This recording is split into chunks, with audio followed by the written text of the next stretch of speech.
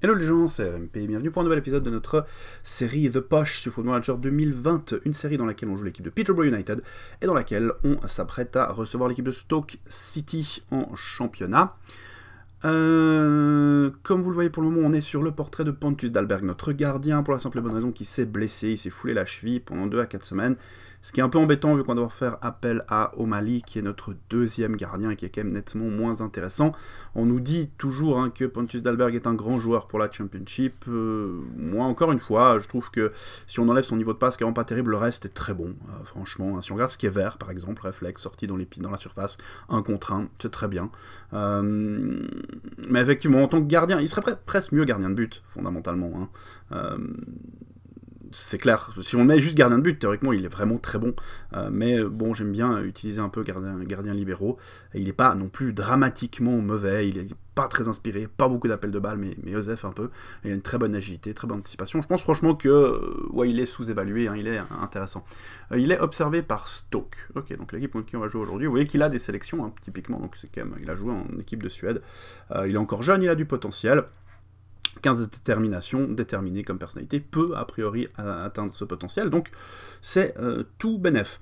Depuis la dernière fois, on a joué euh, plusieurs matchs, pas mal de matchs même me semble-t-il. Euh, je vous propose de regarder ce qui s'est passé. Tout d'abord, après notre déplacement à Londres pour jouer à Arsenal, on recevait, entre guillemets, Leicester à Leicester. Et ça s'est très très mal passé, comme vous pouvez le voir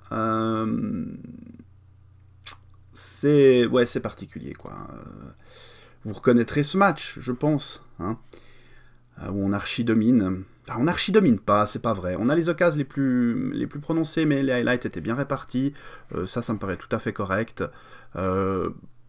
Une victoire étriquée pour nous aurait reflété la façon dont le match fonctionne. Un 0-3 est absolument absurde, hein, ça n'a aucun sens. Mais euh, bon, ça arrive. Hein. Vous voyez typiquement qu'on rate un penalty. Ça, ça allait pas. Ça n'allait pas. Euh, c'était, euh, c'était vraiment. C'était pas notre soir, purement et simplement. le gros problème, c'est que c'était un peu un des matchs qu'on pouvait espérer gagner. Hein. Je rappelle qu'on joue, on joue à Liverpool, Manchester United encore, enfin, tous des trucs très sympas. Donc, dans ces premiers matchs de saison, c'était un peu le match qu'on pouvait espérer un des matchs euh, où on pouvait espérer euh, quelque chose. Et malheureusement, on rate clairement le coche euh, pour, pour cette fois-là. Mais on se rattrape bien du côté de Birmingham contre Villa. Bon, vous voyez le match, hein, c'est nouveau un de ces matchs où vraiment très content. On a été nettement meilleur que notre adversaire. On a, cela dit, embarqué, on, le, but a eu lieu sur l'engagement après genre une vingtaine de secondes, un des premiers, un des plus, plus, buts pardon, les plus rapides. Le premier, notre premier but de la saison. Hein match officiel. Et le premier but de Théo Hernandez, ce qui est plutôt, plutôt très bien, oui, qu'il a été très bon, 8.7, hein, euh, qu'il est d'ailleurs maintenant, si on regarde, considéré comme 3 étoiles et demie, nous dit-on, ce qui est plutôt positif. Euh, j'en doutais pas tellement, pour être honnête, qu'il soit meilleur que ce qu'on nous proposait. On nous dit maintenant que c'est un joueur correct pour la plupart des clubs de première division. Je, je pense pas que ce soit au-dessus de ça, hein, qu'il soit au-dessus de ça, mais je pense que ça, quand même, oui, effectivement, il l'est. Euh, ensuite, on a un but d'Amin Gouiri juste avant la mi-temps qui, qui entérine un petit peu les choses euh, parce qu'ils ont quand même ils ont quand été présents, hein, on le voit, hein, ils ont quand même créé des occasions. Bon, la plupart après qu'on ait clairement pris l'avantage.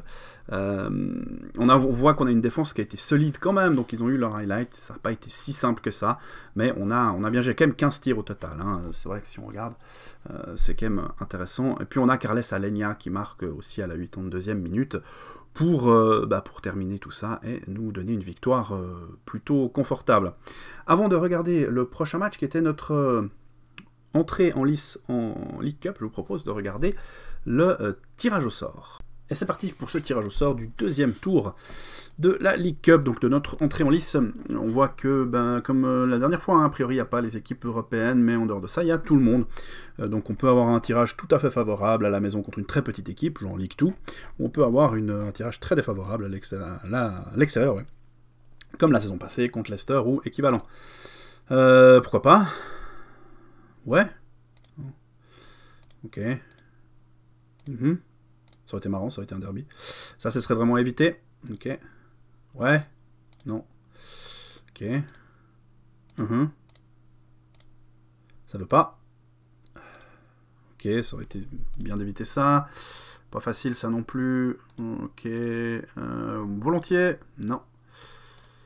Ok, Everton, Port Vale, non plus. Les McDonald's, non plus. Reading, non. Fleetwood, non. Ipswich, eh oui, on jouera à Ipswich, ce qui est un bon tirage. Euh, à l'extérieur contre une équipe de Ligue 1, ça devrait être tranquille, ça devrait nous permettre de passer sans trop de soucis au euh, prochain tour. Et donc, comme vous l'avez constaté, on jouait du côté de Ipswich, Ipswich qu'on a battu tranquillement, hein, sans forcer. 2-0. Euh, c'est pas grand chose. on aurait pu, slash dû peut-être, faire mieux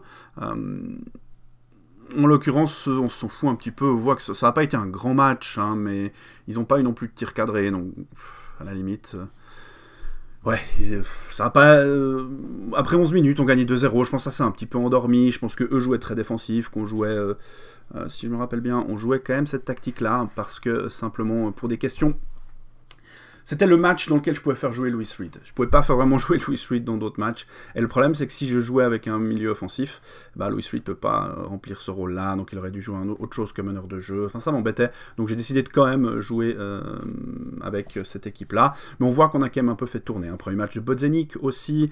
Euh, Louis Coel et Kitolano étaient titulaires. Derrière, on n'a pas de Pongracic, par exemple. Conor O'Malley jouait.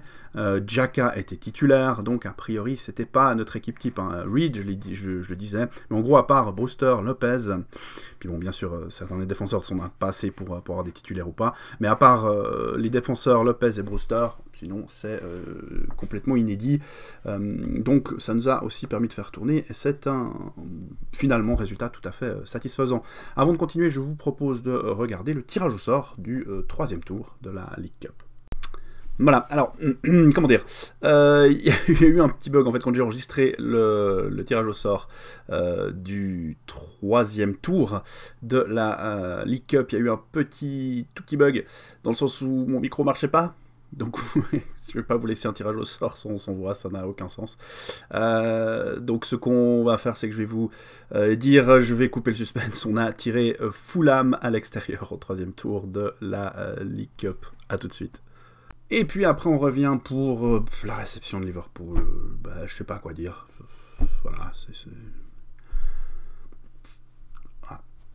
Euh, c'était moins pire, peut-être. Je même pas. Ah, ils ont quand même marqué à peu près à chaque fois qu'ils ont tiré. Hein. C'est pas tout à fait vrai, mais ils ont eu pas mal de réussites. Euh, c'est un penalty raté, hein. donc si on regarde, hein, si on enlève le penalty raté, ça fait une occasion franche et trois demi-occasions et on finit à 5-0 quand même. Donc euh, c'est dur comme score. Touzard prend une expulsion euh, de frustration qui est hyper embêtante parce qu'il prend trois matchs de suspension avec ça. C'est vraiment pas idéal, surtout maintenant qu'on commence à jouer des matchs euh, régulièrement. et puis, ouais, enfin voilà, c'est dur comme score. Et euh, surtout, moi je dirais surtout, on marque pas. On marque pas. Et pourtant, on a eu des occasions. Hein. On n'a pas eu des milliards, mais on en a eu. Euh, on s'est présenté seul devant le gardien une ou deux fois, qui fait même un bon match, Allison. Donc c'est quand même un peu, c'est quand même un peu frustrant. C'est presque ça, au final, euh, le plus, le plus frustrant. Ensuite, on allait du côté de Manchester pour jouer United, et on n'a toujours pas marqué contre une grosse équipe. Il n'y a rien à faire. De nouveau, un match hyper compliqué où on jouait défensif. Hein, notre formation là. On n'a rien créé cette fois-ci, vraiment. On n'a pas été dedans. Mais on a bien tenu, si ce n'est que, évidemment, dans les 10 premières minutes, il marque, parce que c'est toujours le cas. Euh, mais en dehors de ça, ça allait bien. Puis dans les 5 premières minutes de la deuxième mi-temps, il marque, parce que c'est toujours le cas. Mais euh, si on enlève juste les, 5 premières, les 10 premières minutes, on va dire, de chaque mi-temps, c'était correct. On a, défendu correctement, on n'a pas de quoi se plaindre. On n'a d'ailleurs pas vraiment de mauvaises notes quand on sort des attaquants, on va dire. Euh, on a quand même Jaka et Birindelli qui font, sont pas terribles. Euh, c'est vrai que c'est un peu problématique, mais euh, sinon c'était réglo. Et je dirais que ça marque, ce match marque un petit peu la fin de notre pensum, on va dire ça comme ça, en première division. On a le droit maintenant de jouer des vraies équipes et pas des équipes contre qui le seul objectif c'est de pas en prendre 18. On renoue avec la victoire et c'est très bien euh, contre Fulham en League Cup, donc ça a deux gros avantages. Premièrement, ça nous permet de continuer dans la League Cup. Je vous rappelle qu'on devait atteindre le quatrième tour, c'est fait. Et ça, c'est très très bien euh, pour la suite, surtout qu'on est, comme vous pouvez l'imaginer, pas dans une super situation d'un point de vue du classement. Euh, et puis, par contre, en plus de ça, pardon, ça nous permet également de, bah, de renouer simplement avec la victoire, hein. c'est-à-dire d'engranger de, un petit peu de confiance. Malheureusement, mais c'était à prévoir hein, pour un troisième tour de la League Cup, c'est assez logique. On n'a pas pu vraiment faire tourner non plus. On remarque quand même que c'est un peu le cas. Reed était titulaire notamment. Jacka, bon, j'avais pas le choix. Hein. Euh, Touzard était suspendu, il l'est encore. Cortés était titulaire, Coyle et Kitolano aussi, mais derrière on a quand même Pongracic, euh, on a Soutar toujours blessé, hein, donc sinon il aurait clairement joué ce match, c'est sûr. Euh, Pontus Dalberg était, là, par exemple, hein, pas de question à se poser, c'est un match contre une équipe à peu près de notre niveau à l'extérieur, donc euh, c'était compliqué. Un match qu'on a, je trouve, quand même plutôt, plutôt bien maîtrisé. Hein s'est créé beaucoup plus d'occasions qu'eux, on a été passablement meilleur que Fulham. Euh, pour être honnête, euh, même, euh, on, marque très très vite ce, premier but. Et puis, on a des highlights régulièrement dans la première mi-temps, mais on n'a pas eu tant que ça. Ils en ont eu une, ils ont eu un tir cadré de la première mi-temps, ils égalisent. Classique. mais la deuxième mi-temps était un peu plus compliquée pour nous quand même. Hein. Ils ont plus de tirs cadrés, mais on s'est créé les plus grosses actions et Callum Cook finit par nous donner la victoire, ce qui est très très bien. Avant qu'on regarde ce qui se passe au classement, je vous propose de euh, regarder le tirage au sort du quatrième tour de la League Cup. Et c'est parti pour ce tirage au sort du quatrième tour, donc les huitièmes de finale de la League Cup. Comme vous voyez, il reste des équipes tout à fait à notre portée. Euh, même des équipes assez, simples à jouer, hein. Derby, Burton, Wimbledon, Blackpool, Luton, Wigan. Hein, il reste vraiment, euh, vraiment euh, des, petits poussets. Il reste aussi des gros morceaux, hein, la plupart. Hein, Man United, Man City, Liverpool. On a Arsenal qui est là. Euh, et Chelsea, ouais, donc Tottenham aussi. Donc en fait, on a le Big Six qui est là, sans compter encore les autres West Ham, par exemple, ou Everton, qui sont jamais simples à jouer. Donc c'est à peu près du 50-50, soyons parfaitement honnêtes. Ça peut être un tirage dramatique, comme ça peut être un tirage très tranquille. Ok. Euh... Ouais. Voilà, non, c'est pas pour nous. Ça, ce serait très très bien. Et ça, c'est très très intéressant. On jouera donc Wigan à Wigan, hein, une équipe de Ligue 1. Alors j'imagine une bonne équipe de Ligue 1, ouais, ça se défend, hein, je pense qu'ils sont, voilà, c'est ça, ils sont descendus la saison passée. Euh, donc c'est une bonne équipe de Ligue 1, mais c'est une équipe de Ligue 1, hein, ça va nous permettre de respirer un peu, et ça, c'est très intéressant. On va terminer euh, ce tirage au sort. Arsenal reçoit Derby, Tottenham reçoit Burton, Man United reçoit West Ham et Liverpool jouera Blackpool. Et donc, euh, comme vous pouvez le voir, on jouera euh, Wigan, ce qui est plutôt un bon tirage, euh, franchement, même un très bon tirage, soyons honnêtes, par rapport au tirage qu'on aurait pu faire. Donc je suis très content, ça peut nous permettre d'aller un peu plus loin en League Cup, ça peut être fun d'avoir un petit peu d'avoir une possibilité, hein, peut-être, puisque du coup, si on gagne contre l'équipe de Ligue 1, ce qui devrait être le cas normalement, hein, c'est pourquoi on sera en tout cas favori, ben on, est déjà en quart de finale. Donc euh, il suffit d'un bon tirage, euh, suivi peut-être d'un bon match, ou plutôt l'inverse, d'un bon match, peut-être un mauvais tirage au quart de finale sera plus simple à gérer qu'en demi-finale. Je rappelle que les demi-finales sont aller-retour en League Cup. Euh, mais après un bon tirage en demi-finale, et puis ben, on peut toujours espérer quelque chose, pourquoi pas. Au classement, comme vous le voyez, ça va pas, mais en même temps, j'ai envie de dire voilà, enfin, il n'y a, y a pas à se plaindre. Euh, honnêtement, il n'y a pas à se plaindre de ce début de saison, pas du tout. Euh, on fait un bon match contre Arsenal, étonnamment. On fait un bon match contre Leicester, un pas mauvais match contre Leicester, mais quand même, euh, dur. Enfin, on n'est vraiment pas récompensé dans ce match-là, soyons parfaitement honnêtes, et eux le sont carrément. après, on joue chez eux. On est à la maison, on voit qu'ils ont 3000 visiteurs, a priori c'est le maximum. Je me rends pas bien compte, personnellement, euh, si d'un point de vue du jeu, ça change quelque chose qu'on soit dans leur stade ou pas. Je pense pas je pense pas que ça change quelque chose. Mais je me trompe peut-être. Peut-être que la familiarité avec les lieux les aide quand même, c'est tout à fait possible. Euh, donc ça peut, aider. Hein. Je me rappelle qu'on nous disait qu'ils allaient jouer offensif. Donc moi j'ai plutôt joué équilibré, hein, tout en jouant Gegenpress. Euh, mais c'était un match tout à fait équilibré, peut-être plutôt à notre avantage. Et bon, bah voilà, ils ont quand même gagné 3-0 au final. Euh, après, on doit jouer contre Aston Villa à l'extérieur. C'est pas simple, surtout dans la dynamique qu'on a créée en ce début de saison. Et pour pourtant on est clairement supérieur. On joue Ipswich, pas de question à se poser.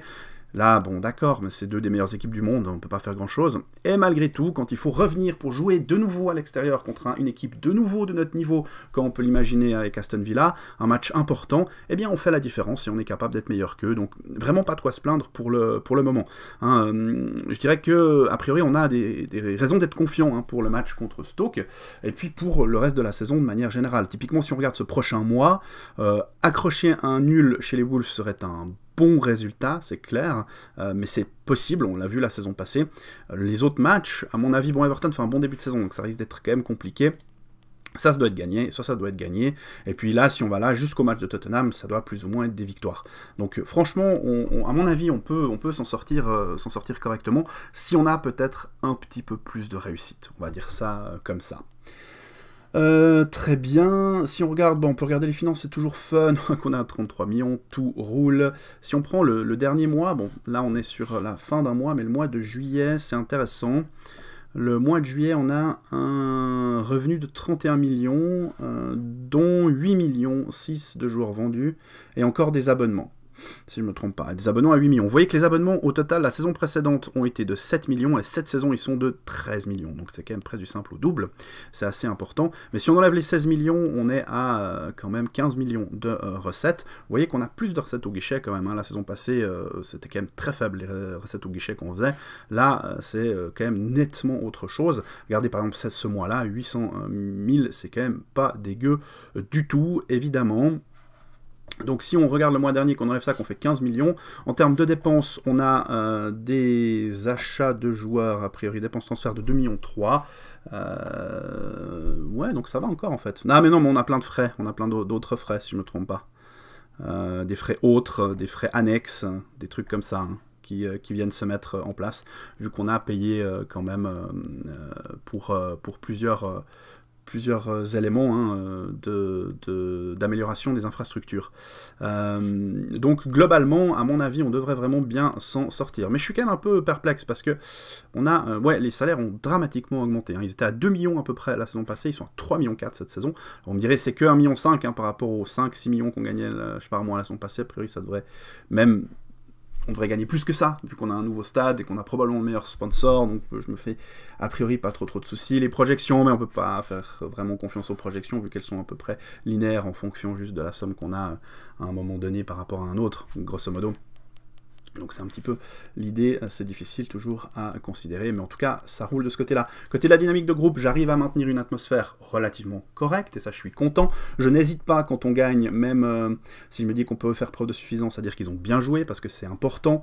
Euh, j'essaie quand même de leur dire qu'ils ont mal joué dans 2-3 matchs contre les, équipes du type United et Liverpool, mais c'est pas forcément ce sur quoi je mets l'action. Là bien sûr je les ai engueulés, mais, mais voilà, ça c'est clair que ça a fait perdre pas mal pas mal de, liens dans euh, l'équipe. Très bien, je propose qu'on euh, s'y mette gentiment.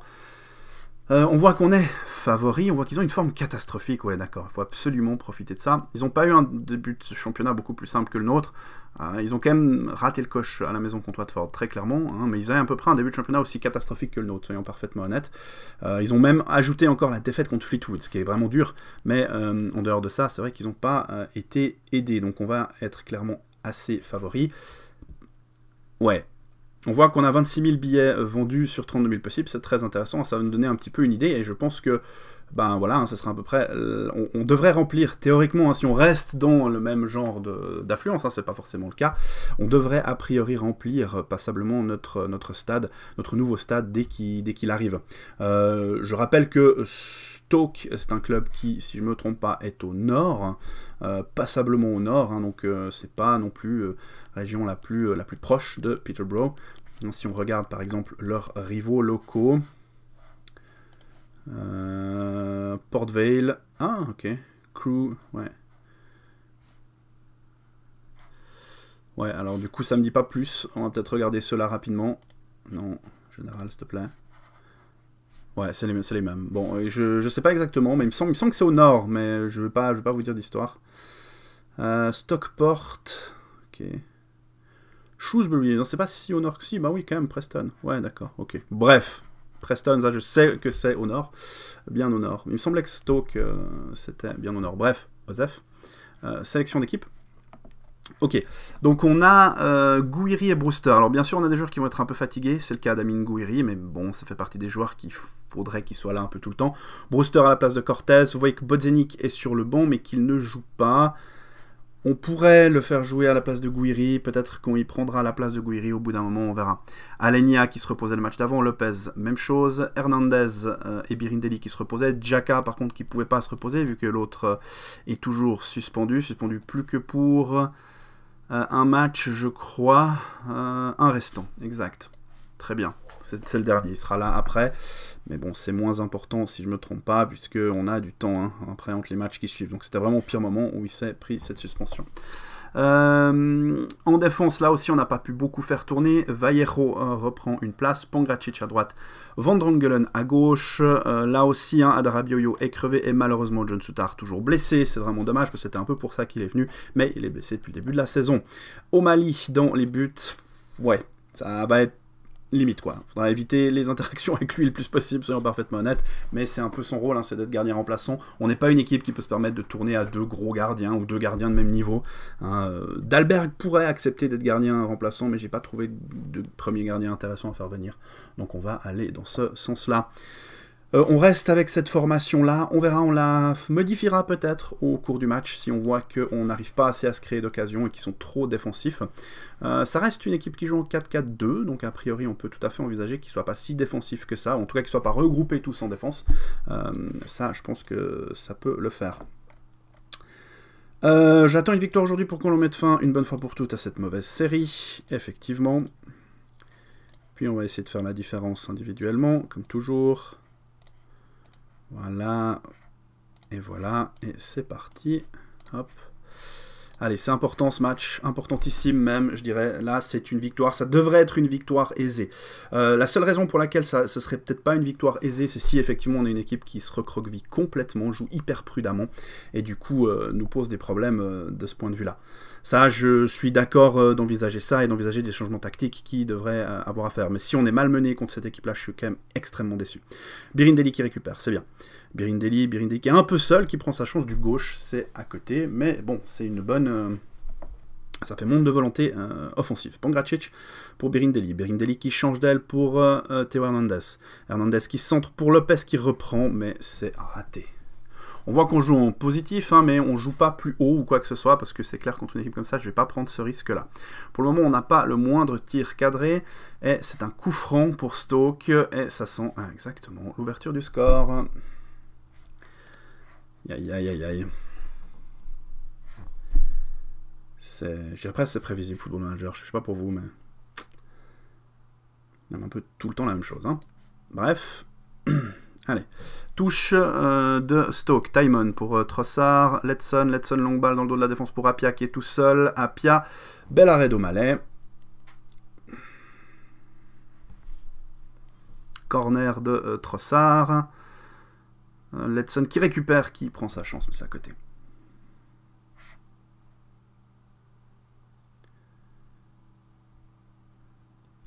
On va essayer de faire le changement tactique parce que pour le moment c'est la catastrophe. Euh, alors, euh, on va passer comme ça. non, ça c'est clair que non. Alenia, ouais, je pense que c'est mieux. Lopez en Mezzala, ça me paraît correct.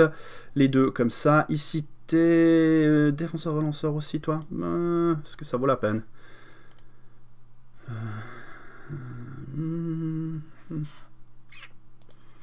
Stopper, j'aime bien parce que t'as beaucoup de courage, mais euh, défenseur-relanceur, je sais pas. Pangracic me plaît plus dans ce rôle-là. Pas grand-chose d'en avoir deux. Là, on a comme ça, on va faire l'inverse. Attaquant pressing, ce sera Brewster. Attaquant avancé, ce sera Gouiri. On joue plus haut. Euh, pour le moment, positif, on va même se mettre en offensif. On va faire ce changement. Et puis, hein, on va leur demander de montrer qu'ils ont du caractère.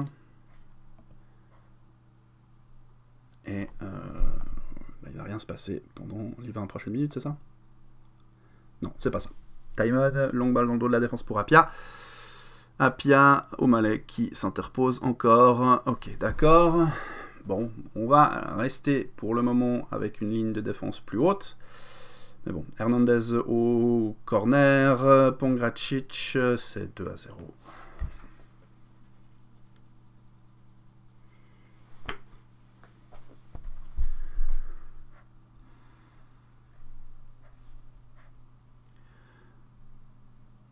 Une fois, deux fois. Pongracic qui dégage pas. Et un tacle depuis arrière on va encore leur dire de montrer qu'ils ont du caractère. Lopez. Lopez, longue balle dans le dos de la défense pour Gouiri. Gouiri qui centre. C'est bien joué de Gouiri. Malheureusement, il n'y a personne. Gouiri qui récupère Brewster. Brewster qui marque le 1-2. Ça, c'est très bien. Ça peut complètement nous relancer dans le match. Je vais pas leur demander de montrer qu'ils ont du caractère, mais juste en demander plus. Je pense que ce sera bien. Mais ça, c'est bien. C'est une, excellente réaction et il faut qu'on profite pour euh, continuer. En plus, c'est une très jolie action de nos deux attaquants. J'ai pas regardé s'il y a eu des mises à jour dernièrement. C'est un petit moment que j'ai pas joué pour essayer de de faire que vous puissiez un peu rattraper de, retard, ou que j'arrête de prendre de l'avance plutôt sur euh, les épisodes que j'enregistre, j'ai toujours pas mal d'avance. Euh, il faudrait que je regarde s'il y a peut-être eu une mise à jour. Jaka qui prend un jaune, c'est pas très très bon. Lopez, Lopez d'ailleurs on peut lui dire euh, de s'engager moins.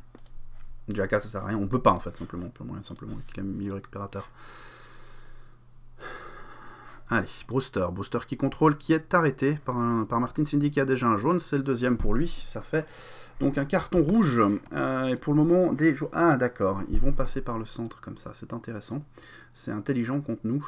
Euh, on pourrait presque élargir le jeu. On va euh, laisser la fin de la première mi-temps se faire. Puis après, on verra, on y réfléchira.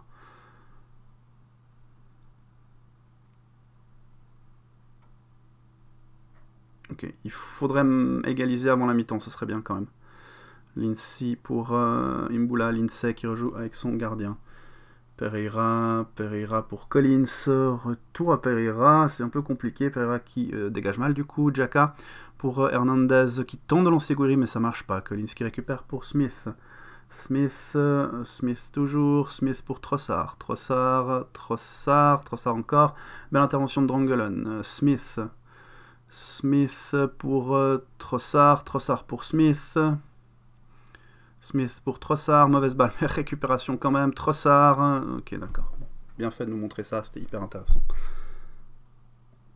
Ok, alors. Euh, on va être agressif, ça manque d'enthousiasme, ça semble marcher très très bien. Toi, tu vas, euh, on va dire qu'il faut faire gaffe. Jaka, on va dire qu'il faut faire gaffe. Euh, on a Pongracic qui fait un très bon match, il a fait une grosse erreur. Drangelen, notre défense qui joue pas bien. On n'a pas beaucoup de joueurs qui jouent bien. Les attaquants, ce qui pour une fois est positif, c'est très clairement un match abominable, hein, que les choses soient claires. Mais euh, je vois pas trop quoi faire. On a essayé de changer de tactique.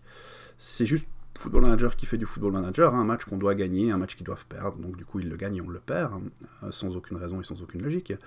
Mais c'est comme ça depuis, euh, depuis que le monde est monde à peu près, donc euh, on accepte. Birindeli, on, on accepte, on s'y attend surtout, donc c'est moins problématique. Birindeli, Birindeli qui centre bien pour Jaka, qui reprend Théo Hernandez, qui reprend aussi, c'est bien joué, mais c'est arrêté par le gardien. Ce sera un corner, corner de euh, Alenia, Collins qui dégage de la tête, Pongracic qui récupère, qui rejoue avec Alenia, qui centre directement, mais offside.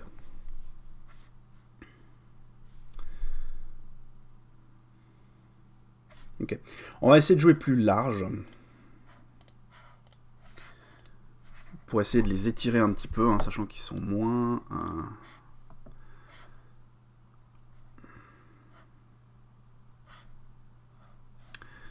Lindsay qui dégage euh, son camp. Timon pour Trossard. Trossard, Trossard toujours. Pour Smith. Ok. Collins. Imbula pour Letson. Letson dans le dos de la défense pour Apia. Apia qui tire mal, mais on n'a aucune occasion. On se crée rien, c'est quand même pas possible.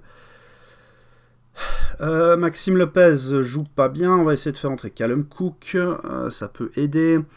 Tolen Jaka, mais j'ai personne, c'est pas lui qui va apporter des solutions offensives, c'est pas le but. Carles Alenia joue pas bien non plus, mais là non plus j'ai personne.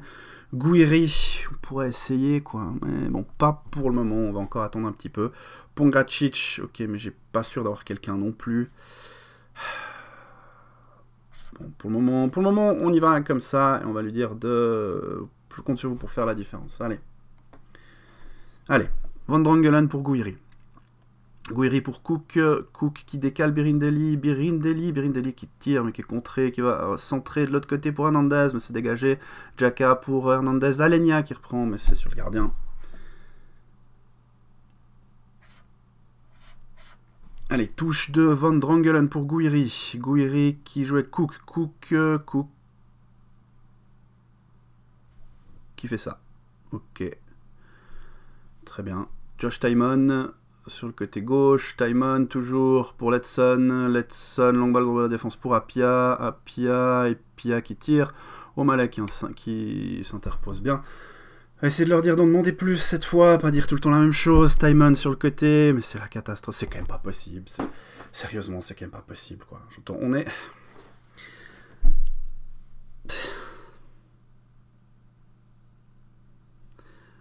On est 11 contre 10, contre une équipe qui est nettement moins bonne. À la maison, il se passe quoi là? Qu'est-ce qui se passe? Bon, on va essayer de repartir sur cette tactique, je sais pas, je sais pas ce que je dois faire. Je ne sais pas ce que je dois faire, c'est terrible.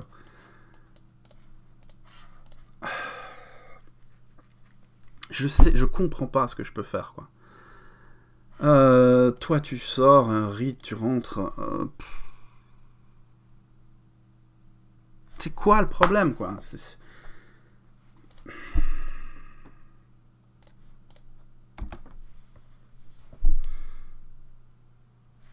Un corner pour euh, Stoke. Ils sont 10 C'est que leur highlight. On n'a pas eu une seule occasion. Franche, demi-occasion, rien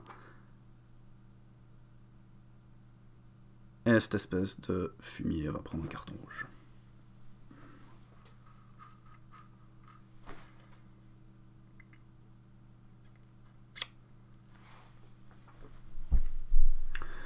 Bon, c'est de ma faute, hein, c'est moi qui ai mis de, jouer plus, euh, plus dur, quoi. Bon, ben voilà.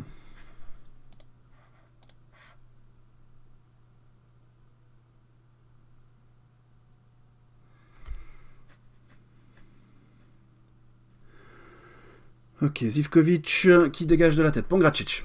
Pongracic, longue balle pour euh, Birindelli qui fait du n'importe quoi, mais Taimon aussi, ça tombe bien, Cook qui centre, malheureusement il n'y avait personne. Imbula pour Trossard, Pereira, longue balle en avant pour Apia, bonne récupération de Drangelen, mais Apia sera plus rapide, Drangelen qui va le chercher mais qui n'y arrive pas, Apia, mauvaise passe, Cook dans le dos de la défense, ça passe pas, mais Cook qui revient, qui fait un bon match, Cook. Allez, Pongracic, Pongracic pour Birindelli sur le côté droite, Birindelli, Birindelli toujours, Birindelli encore qui centre pour Booster, qui donne la balle au gardien espèce de tocard.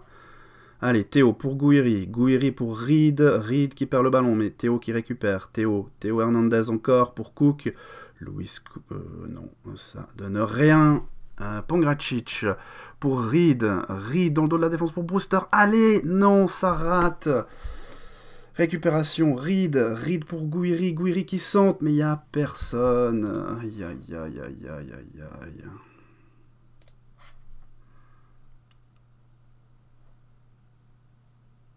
Allez. Coup franc de Théo Hernandez, récupération Reed, Vallejo, Vallejo pour Drangelen, Vallejo. Vallejo qui décale Hernandez, c'est bien joué. Hernandez qui a un peu de champ qui centre, mais c'est trop long. Gouiri qui récupère, Pongracic, retour à Gouiri. Gouiri, Gouiri sur le côté, Gouiri qui centre, Brewster. Qui joue avec Reed, et Reed... Quoi? Ah. Ok, ben hors-jeu, je pense. Et on va perdre contre Stoke, les gens. On va perdre contre Stoke. Dans un match archi dominé par Stoke. L'équipe, équipe probablement de Champions League cette saison, hein, vu qu'ils ont déjà tout perdu tous leurs matchs.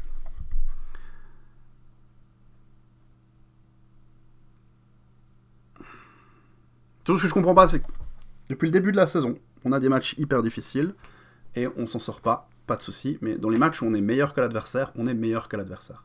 Ce match-là défie absolument toute logique et tout ce qui a été établi depuis le début de cette saison. Mais tout. Euh, c'est absolument incroyable. Absolument incroyable. Bref, je reviens vers vous après la sauvegarde. Voilà, les gens, euh, on va pas suranalyser ce match, c'était juste une blague. On s'arrête là pour cet épisode débile. Et on revient pour le match contre Southampton. Je vous remercie de m'avoir suivi et je vous dis à la prochaine. Bye bye.